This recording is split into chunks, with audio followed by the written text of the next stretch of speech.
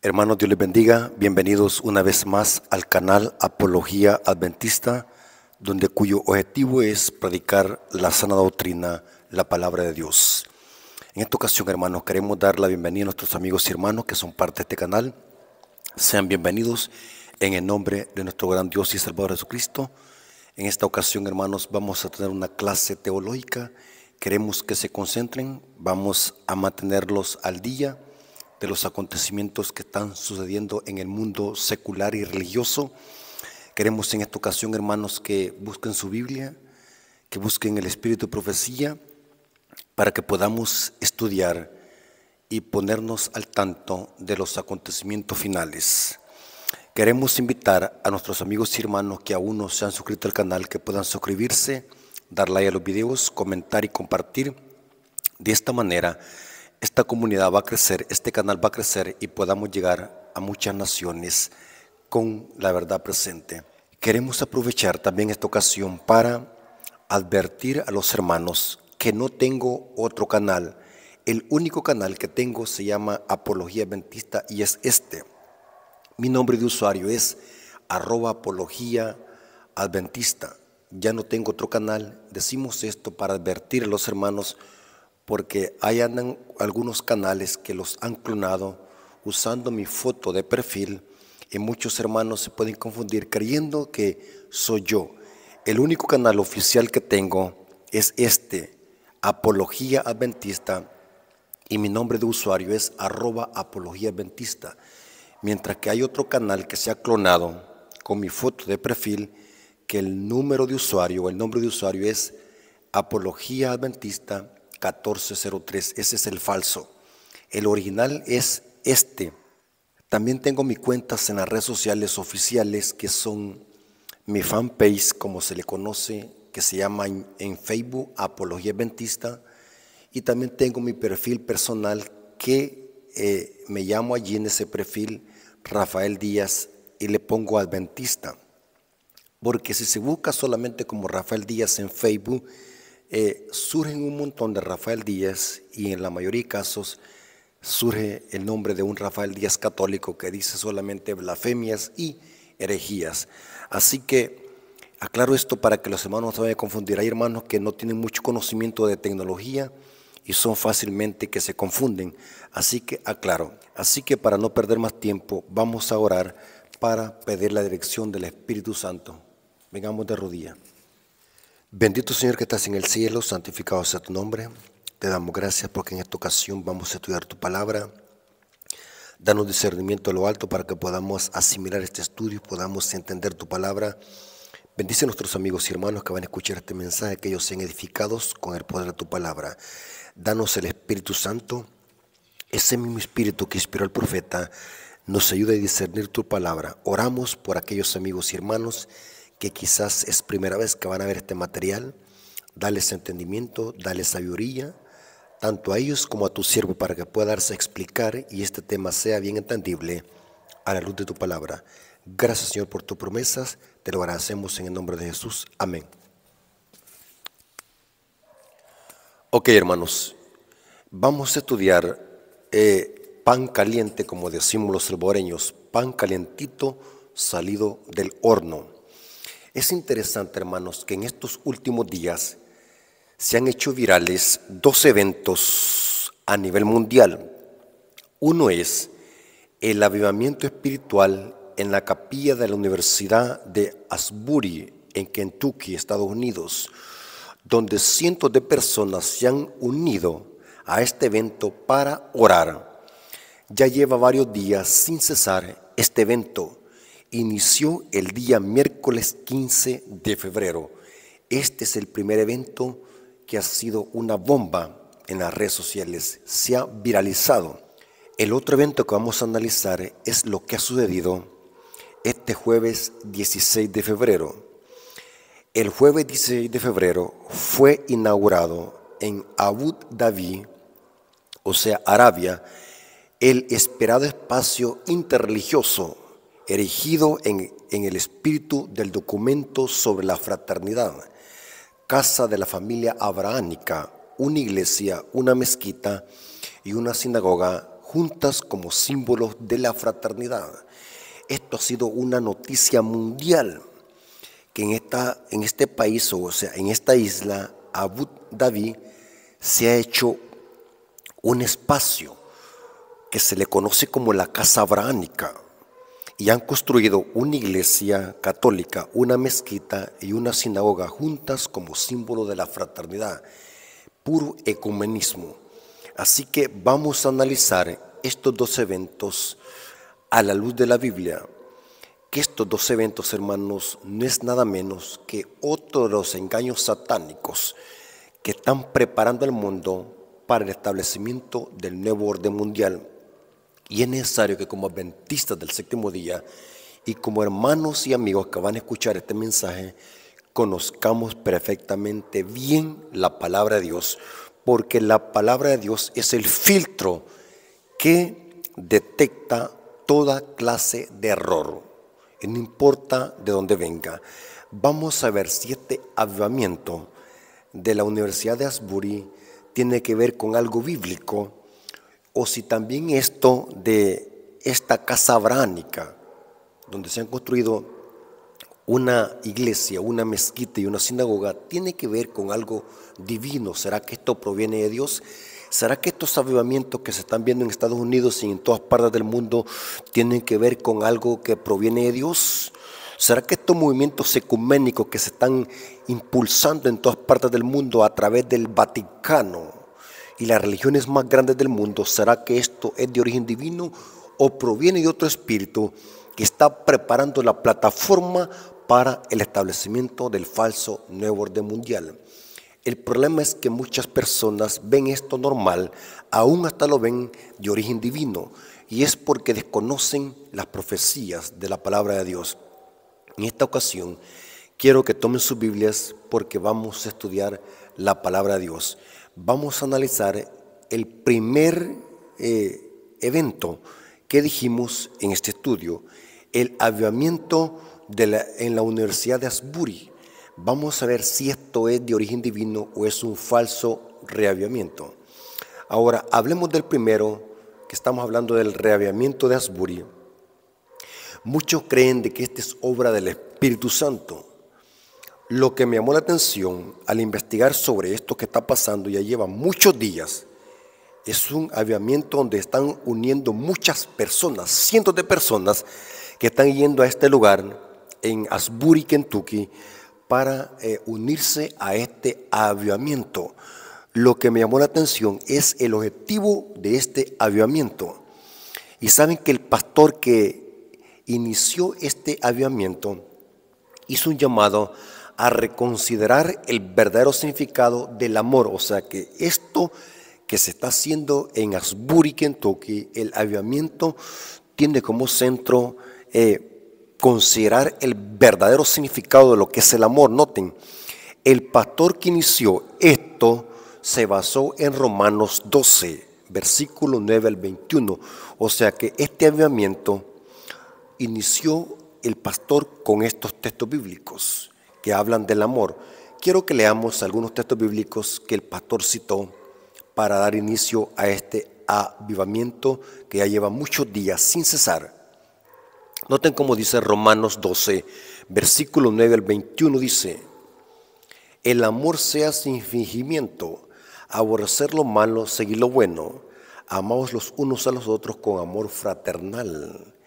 En cuanto a la honra, prefiriéndonos los unos a los otros, a lo que requiere diligencia, no perezosos, fervientes en espíritu, sirviendo al Señor, gozaos en esperanza, sufridos en la tribulación, constantes en oración, compartiendo para las necesidades de los santos, practicando la hospitalidad. Y allí eh, dice más hasta el versículo 21, pero me llamó la atención que este aviamiento en Asbury está basado en amor y fraternidad. Ahora, es interesante lo siguiente, hermanos. Vamos a detectar que esto es un falso reaviamiento. Quisimos traer este tema como el otro porque está calentito en las redes sociales. Ha sido una bomba a nivel mundial y muchas personas creen de que esto es de origen divino. Ahora, explicamos lo siguiente, sin juzgar las intenciones y sinceridad de las personas que llegan a estos reavivamientos, porque el objetivo de esta presentación no es condenar ni criticar a las personas como tales, porque reconocemos como adventistas del séptimo día que la mayoría de hijos de Dios está en Babilonia, está en estos sistemas católicos y protestantes. Eso lo corrobora Apocalipsis 18, versículo 4. O sea que el objetivo de esta presentación, como las otras que hemos hecho en este canal, es con el objetivo de aclarar puntos teológicos y detectar el error teológico, no en sí atacar a las personas, porque reconocemos de que cada persona tiene un trato personal con Dios. Por lo tanto, eh, debemos declarar este punto porque el tema aquí no gira en contra de las personas, sino en contra de eh, si este movimiento es de origen divino o proviene de otro espíritu. Queremos usar la palabra de Dios para demostrar que estos no son avivamientos bíblicos, sino avivamientos ecuménicos. Esto es ecumenismo, hermanos. Un avivamiento que dice que está basado en amor y fraternidad, pero excluye la ley de Dios y la verdad de Dios, ese no es un avivamiento genuino, sino que es un falso reavivamiento ecuménico. El centro de todo reavivamiento religioso que excluye la ley de Dios es un falso reavivamiento. El reavivamiento bíblico, vamos a ver algunos textos bíblicos, es aquel que exalta la ley de Dios y lleva al pueblo a la obediencia a la ley de Dios. Por ejemplo, Nehemías capítulo 8, versículo 2 al 3. Noten cómo dice aquí lo que hizo Edras para llamar al pueblo a un reavivamiento, al pueblo de Israel. Y el sacerdote Edras trajo la ley delante de la congregación, o sea, la Torah, la ley, así de hombres como de mujeres y de todos los que podían entender, el primer día del mes séptimo, y leyó en el libro delante de la plaza que estaba delante de las puertas de las aguas, desde el alba hasta el mediodía. Noten lo que hizo el sacerdote Edras, en presencia de hombres y mujeres y de todos los que podían entender. Y los oídos de todo el pueblo estaban atentos al libro de la ley. O sea que estos reavivamientos, como el de Asbury en Kentucky, para que sea un reavivamiento de Dios, tuvo que el pastor presentar la ley de Dios, la vigencia de la ley de Dios y enseñar al pueblo a las verdades que ha abandonado. O sea que aquí podemos ver de que lo que está pasando en estos movimientos es un reavivamiento falso. Porque el reavivamiento genuino es aquel que lleva a la gente a rescatar verdades pisoteadas por el catolicismo y el protestantismo. Ese es avivamiento que proviene del Espíritu Santo. Esto que está pasando en Estados Unidos es solamente un falso reavivamiento. El genuino reavivamiento es aquel que lleva al pueblo a la obediencia a la Torá, a la obediencia a la ley, a la obediencia a los mandamientos, volver a las sendas antiguas. O sea que no se trata de un amor eh, falso, un amor impío. El amor genuino es aquel que exalta la ley de Dios. Noten cómo dice Lucas 24, versículo 26. Noten cómo dice, aquí Cristo está llevando a los dos discípulos que iban eh, chasqueados en el camino de Maús, Cristo, para quitarles ese chasco y la venda de los ojos, los llevó otra vez a la Torá, a la ley, para que conocieran perfectamente bien de lo que había pasado el Mesías, era profetizado por la ley y los profetas. Vamos a leer Lucas 24, versículos 26 al 27, y después nos saltamos al versículo 32. ¿No era necesario que el Cristo padeciese estas cosas y que entrara en su gloria? Y comenzando desde Moisés y siguiendo por todos los profetas, les declaraba en todas las escrituras lo que de él decía. Y noten ahora el versículo 32. Y se decían unos al otro. Y noten que lo que dijeron los dos discípulos después de que escucharon la ley, la palabra de Dios en boca de Cristo.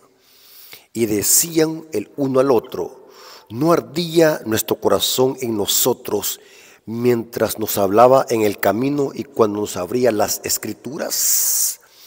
O sea que el reavivamiento genuino que arde el corazón, como dice aquí, es aquel que nos lleva a las escrituras, a la obediencia de la ley y los profetas. Lo que tuvieron aquí los discípulos es un reavivamiento, porque dice el texto, ardía nuestros corazones en nosotros. ¿Están entendiendo, hermanos, qué significa un reavivamiento genuino y un falso? Si el avivamiento de Asbury fuera genuino, ahí mismo se estuviera exaltando la ley de Dios y las verdades que han sido pisoteadas por el catolicismo y el protestantismo por largos años, como por, ejemplo la ley de Dios y el sábado, que es un mandamiento que está pisoteado por católicos y protestantes. Esto es solo otro de los falsos reavivamientos que está profetizado. Y es otro de los engaños satánicos. A la sirve Señor se le mostró que los falsos reavivamientos iban a ser uno de los engaños satánicos de los últimos días que iban a engañar al mundo entero que desconoce la palabra de Dios. Esto está en el libro Eventos de los Últimos Días, página 136, párrafo 1, y en el libro Conflicto de los Siglos, página 517 a la 518, dice, hay una agitación emotiva mezcla de lo verdadero con lo falso, muy apropiada para extraviar a uno. No obstante, nadie necesita ser seducido. A la luz de la palabra de Dios no es difícil determinar la naturaleza de estos movimientos. Donde quiera que los hombres descuiden el testimonio de la Biblia y se dejen y se alejen de las verdades claras que sirven para probar el alma y que requieren abnegación y desprendimiento del mundo, podemos estar seguros que Dios no dispensa ahí su bendición. Tremendo, hermanos. Un reavivamiento donde excluye la ley de Dios, donde excluye la palabra de Dios, es un falso reavivamiento. Podríamos decir así, un reavivamiento espurio que está lejos de recibir las bendiciones de Dios. Estos son reavivamientos ecuménicos. Es otro engaño satánico, hermanos. Lo que están haciendo las iglesias protestantes, eh, agruparse en, montones y clamar y orar y vivir en convivencia, son falsos reavivamientos, porque lo que buscan es eh, un sentimentalismo, no buscan nada de lo que es la ley de Dios. Ahora hablemos del otro evento que sucedió en esta semana, el evento de la casa de la familia abrahámica. Vamos a ver que este es un engaño también satánico, es un ecumenismo disfrazado. La familia de la casa abrahámica, que se le conoce como una iglesia, una mezquita y una sinagoga, junta como símbolo de la fraternidad. Noten que todo va impulsado a la fraternidad. Lo mismo que dice el Papa Francisco en la Fratelli Tutti, un ecumenismo abiertamente, ya no es disfrazado, sino que es un ecumenismo donde se exalta el ecumenismo y el humanismo. Esta casa bránica fue inaugurada este jueves 16 de febrero y ha sido inaugurado en Abu Dhabi, el esperado espacio interreligioso las tres grandes religiones mundiales. Tremendo, hermanos. Y quien lidera esto es el Papa Francisco. Estuve investigando cuál es el objetivo de abrir esta casa abrahámica.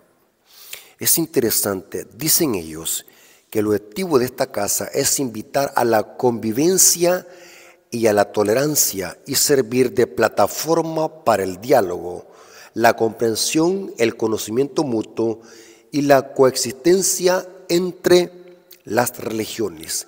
¿Cómo se le llama esto, hermano? Ecumenismo, donde dejan a un lado las diferencias doctrinales y se unen con un solo propósito. Ahí dicen ellos en la fraternidad. Lo mismo que dice el Papa Francisco en la Fratelli Tutti. Tres grandes religiones unidas.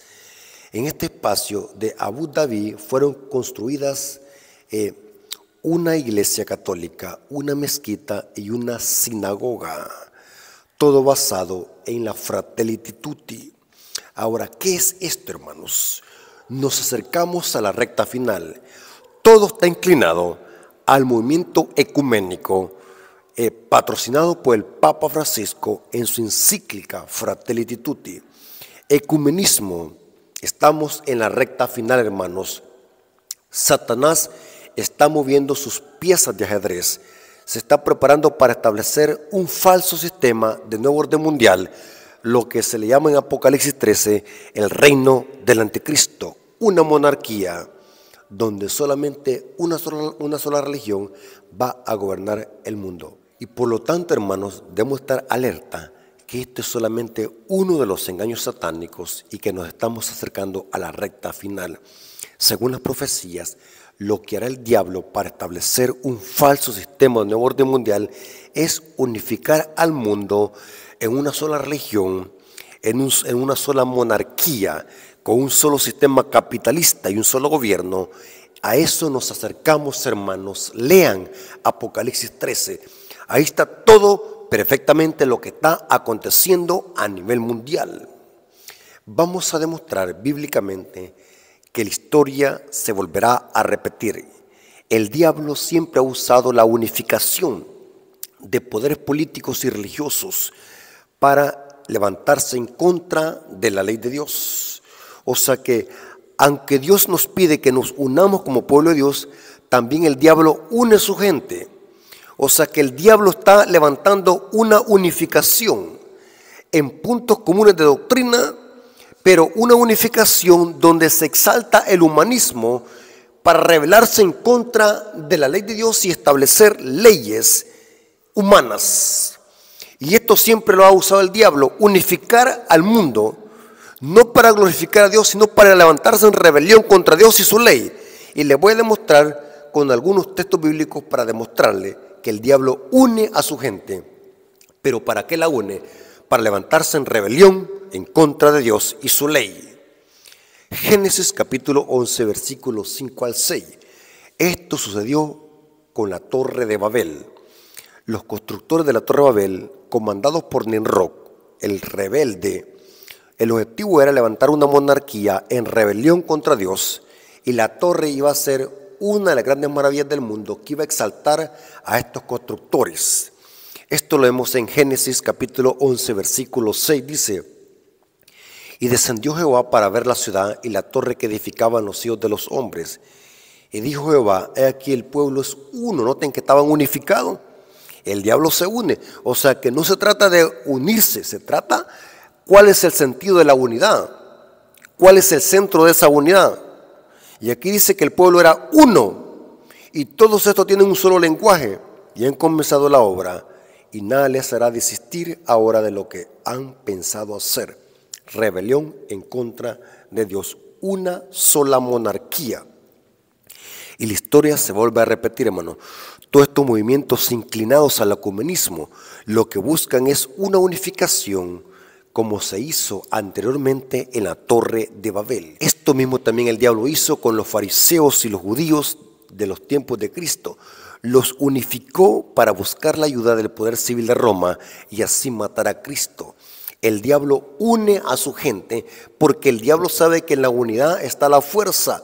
Salmos capítulo 2, versículo 1 al 3. Noten cómo dice aquí el salmista. Y esto se cumplió con Cristo, como los fariseos se unieron para buscar la ayuda del poder civil. ¿Por qué se amotina la gente? No tenga amotinarse. Y los pueblos piensan cosas vanas. Se levantarán los reyes de la tierra y príncipes consultarán que unido contra Jehová y contra su ungido, diciendo, rompamos sus ligaduras y echemos de nosotros sus cuerdas. Oh, o sea que el diablo se une. Entonces, podemos decir a ciencia cierta que estos movimientos ecuménicos y esta casa abrahánica, donde buscan la fraternidad entre religiones, es solamente un destello para lo que viene. El diablo quiere usar al papado para establecer el falso sistema de nuevo orden mundial, para establecer leyes y doctrinas de hombres. Noten cómo dice el libro Testimonios para los Ministros, página 39, párrafo 1, dice, Reyes y príncipes y gobernantes han colocado sobre sí mismo el rótulo del anticristo y son representados por el dragón que le va a hacer guerra contra los santos. los que guardan los mandamientos de Dios y tienen la fe de Jesús. Oh, o sea que el diablo va a usar a los poderes políticos y religiosos unidos en un solo cuerpo para guerrear contra quienes? Contra los santos que guardan los mandamientos. En su enemistad contra el pueblo de Dios se muestran culpables también de la elección de Barrabás en lugar de Cristo. Hermanos, la historia se va a volver a repetir.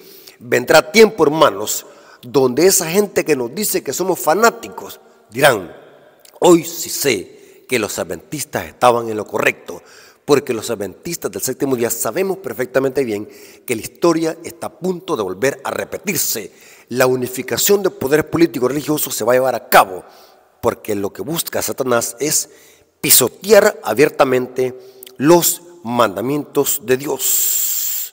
Ahora, quiero demostrarles, hermanos, según la palabra de Dios, que una falsa unidad donde se excluye a Dios y su ley es una unidad impía, es una unidad espuria.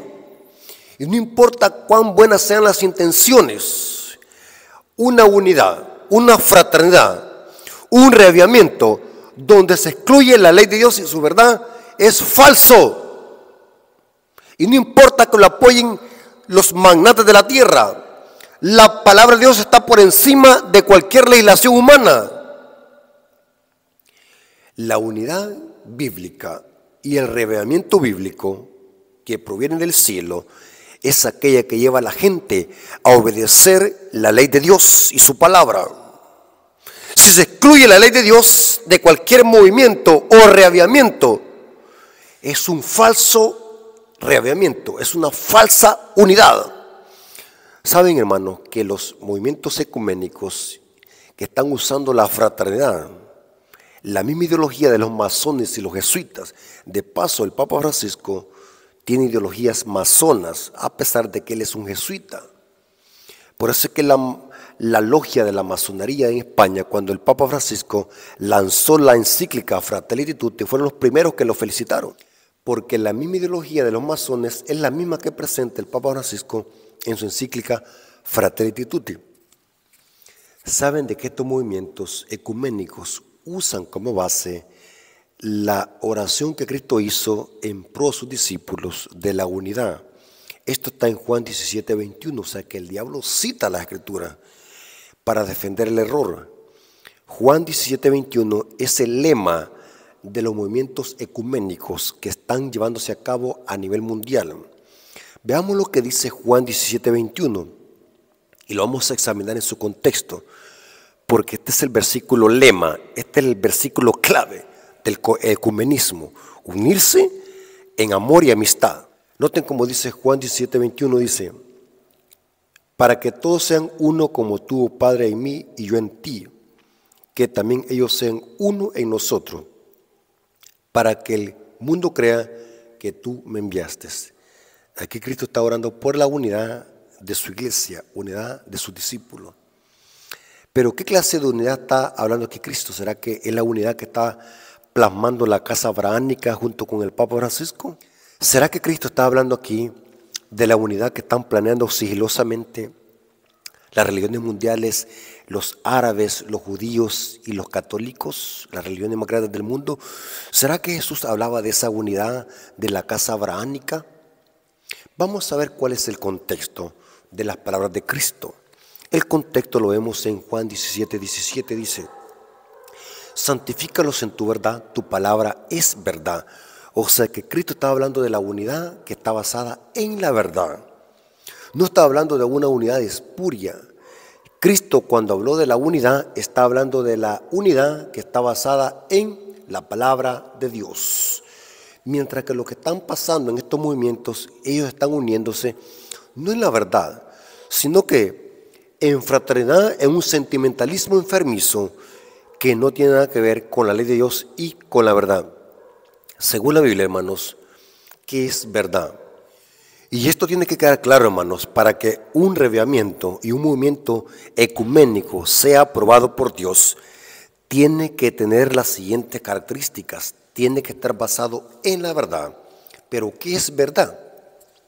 Porque lo que estamos haciendo en este estudio es poniendo el filtro para ver si el avivamiento de Asbury en Kentucky, en Estados Unidos, es bíblico o si también el, la Casa Bránica es un movimiento aprobado por Dios. Eso estamos haciendo en este estudio. El filtro es la palabra de Dios. ¿Qué es verdad? Porque la unidad tiene que estar basada en la verdad. Bueno, leamos algunos textos bíblicos que es verdad. Juan 14:6 dice que Cristo es la verdad. Jesús les dijo, yo soy el camino, la verdad y la vida. Nadie viene al Padre si no es por mí. O sea que el centro de toda unidad debe ser Cristo. ¿Qué otra cosa es verdad? La verdad de Dios es su ley. Salmo 119, versículo 142 dice, tu justicia es justicia eterna y tu ley es la verdad. O sea que el aviamiento genuino y la unidad verdadera tiene que llevar como centro la ley de Dios. Si se excluye la ley de Dios, es un reaviamiento espurio y una unidad falsa. Yo le llamo unidad impía porque la ley es la verdad. Salmo 111, 7 al 8 dice, las obras de sus manos son verdad y juicio, fieles son todos sus mandamientos, afirmados eternamente y para siempre, hechos en verdad y en rectitud. Noten como dice Salmo 119, versículo 29, dice, aparta de mí el camino de mentira y en tu misericordia concédeme tu ley. Tremendo, hermanos. Salmo 119, versículo 104 dice, de tus mandamientos he adquirido inteligencia, por tanto he aborrecido todo camino de mentira. Hermanos, más que claro, cualquier aviamiento, aunque sea apoyado por cientos y por todo el mundo, pero donde se excluye la verdad de Dios y su ley, téngalo por seguro que es un falso reaviamiento es otro de los engaños satánicos. Noten como dijo Martín Lutero, un gran reformador, dijo la siguiente frase, es mejor estar divididos por la verdad que unidos por el error. Tremendo, hermanos. Entonces es fácil, a la luz de la Biblia, poder distinguir entre un reavivamiento genuino y una unidad genuina de un reavivamiento falso y de una unidad falsa el centro de toda unidad debe ser Cristo y su ley, porque Cristo y su ley es la verdad. Basándose en esto, la sierva del Señor escribió dos poderosas citas que se las quiero leer en esta ocasión. Una está en Mensajes Selectos, tomo 1, página 206, párrafo 1, dice, Cristo demanda unidad. Claro, ya lo vimos en Juan 17, versículo 21. Cristo demanda unidad. En eso estamos de acuerdo. Pero ¿de qué clase de unidad está hablando Cristo? Ella lo explica. Pero no nos demanda que nos unamos en prácticas erróneas. El Dios del cielo traza un nítido contraste entre las puras y elevadoras verdades y las falsas doctrinas que descarrían. ¿Notaron, hermanos? La verdadera unidad es la que está basada en la verdad, no en el error. Noten como dice en esta otra cita, mensajes selectos, tomo 3, página 471, párrafo 1, dice, tenemos un mensaje decisivo que dar. Y se me ha instruido para que diga a nuestro pueblo, uníos, uníos. Pero no, no nos debemos unir con los que se apartan de la fe, prestando oído a espíritus seductores y doctrinas de demonio, con nuestros corazones enternecidos bondadosos y fieles, tenemos que avanzar para proclamar el mensaje sin prestar atención a los que se desvían de la verdad. Hermanos y amigos, no cabe duda que el reaviamiento de Asbury y en Kentucky y esta falsedad de la Casa Bránica solamente es un falso ecumenismo y un falso reaviamiento. No tiene nada que ver con Dios y su palabra. Hermanos y amigos, hay que prepararnos. Hermanos, lo que se avecina es terrible. La tormenta se avecina y va a pasos agigantados. Y estoy impactado ver cómo hay más y más inclinación por el movimiento ecuménico.